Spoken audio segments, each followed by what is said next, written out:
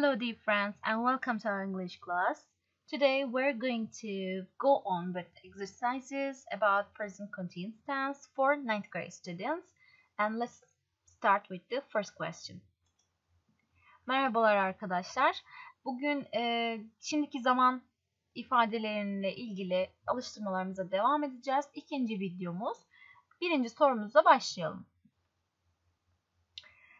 Evet biliyorsunuz ki önceki videoda söylemiştim. Burada direkt size e, parantez içerisindeki emizarı veya fiili ing yapmanızı istemezler. Genellikle geniş zamanlı arasındaki farkı belirtmek için sorular sorarlar. Ve bu da o sorulardan bir tanesi. Şimdi burada sizin e, dikkat etmeniz gereken en önemli şey geniş zaman mı veya şimdiki zaman olduğunu. Şu an göreceğimiz bütün sorular hem geniş zaman hem de şimdiki zamanla alakalı. İkisinin arasındaki farkı da bu şekilde göreceksiniz. Bakalım usually. Zaman ifadelerine dikkat etmemiz gerekiyor. Bir de öznelerimizde. Usually geniş zaman yani simple present tense'in bir konusu ve in the evenings diyor. Akşamları genellikle o televizyon izler. Watch. Şimdi burada geniş zaman kullanacağımız için ing'ler gitti. Fakat burada bir de s takısına dikkat etmemiz gerekiyor. He'den dolayı s takısını unutmuyoruz arkadaşlar. Let's go on with the second question. She blah blah lunch at the moment. At the moment ifadesini gördüğün an şimdiki zamanı yapıştıracaksınız. Ve biliyorsunuz ki have normalde hem non-action hem de action verb'ler arasında yer alıyordu. Fakat lunch kelimesiyle birlikte kullanıldığı için ing alacak. She is having lunch at the moment. Şu anda öğlen yemeği yiyor. Please skip this song.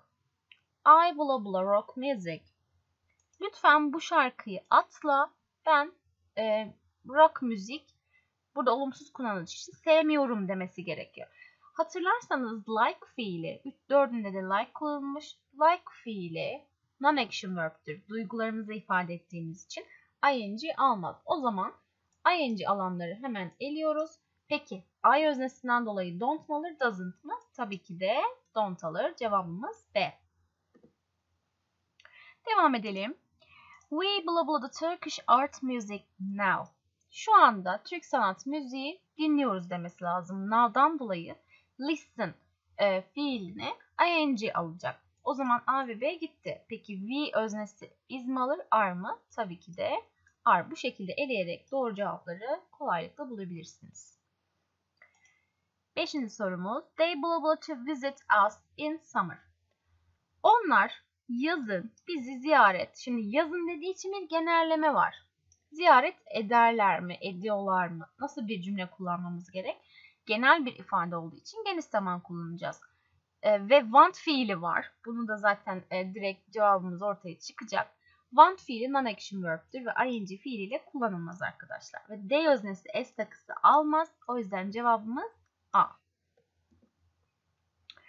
Evet. Bazen çıkarım yapmamız gerekecek. Ee, burada herhangi bir zaman zarfı olması gerekmiyor. The baby blah blah in the bedroom. Uyumak fiili var. Ee, yatak odasında bebek uyuyor mu diyeceğiz, uyur mu diyeceğiz. İkisi de olabilir. Şimdi ardına gelen ifadeye bakalım. Can you turn off the music please? Müziği kısabilir misin lütfen dediğine göre bebek ne zaman uyuyordu? Şu andan bahsediyorlar. O yüzden şimdiki zaman kullanılacak. A ve B gitti. Peki the baby öznesi is mi alır, are mı alır? Tabii ki de tekil olduğu için is alır. Cevabımız D. Yine çıkarım sorusu. Look, Elizabeth, Elizabeth, blah blah sing again. She often. Şimdi arkadaşlar burada e, dikkat edeceksiniz. Look diyor, bak diyor Elizabeth. Şimdi e, bak Elizabeth şunu yapıyor demesi lazım ki şu andan bahsediyor olması lazım ki şimdiki zaman kullanabilelim. Yani o an bak dediğine göre o andan bahsediyordur. O yüzden bak Elizabeth şarkı söylüyor. Yine şarkı söylüyor diyeceğiz. Yani şu andan bahsetmiş. O yüzden de A ve B kalıyor arkadaşlar. Şimdiki zaman kullanacağız çünkü. İkinci kısımda ise often geniş zamanda kullanılan bir zarf. Sık sık anlamında. O yüzden de geniş zaman kullanacağız. Ee, peki burada zaten dikkat etmemiz gereken bir şey var. ing kullanılmamış bakın. O yüzden B gitti zaten. Direkt cevabımız A. They Bla bla. Sometimes. Bazen dediğine göre ne yapmamız lazım? Geniş zaman kullanmamız lazım. Bir de özlemize dikkat edelim. D öznesi have mi alır, has mi? Tabii ki de have alır. O yüzden B ve D şıkkı gitti. İkinci kısma bakalım. Normal yani bazen diyor işte yemek yerler. Ama bugün they bla at restaurant. Yani bugün e, restoranda yiyorlar demesi lazım. Yani şu andan bahsettiği için şimdiki zaman kullanacağız. Ve they öznesi are alır. Are having. Evet.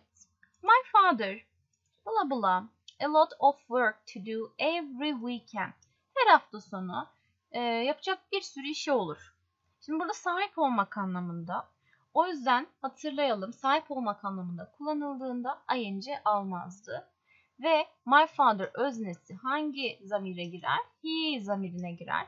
O yüzden de cevabımız C has olacak.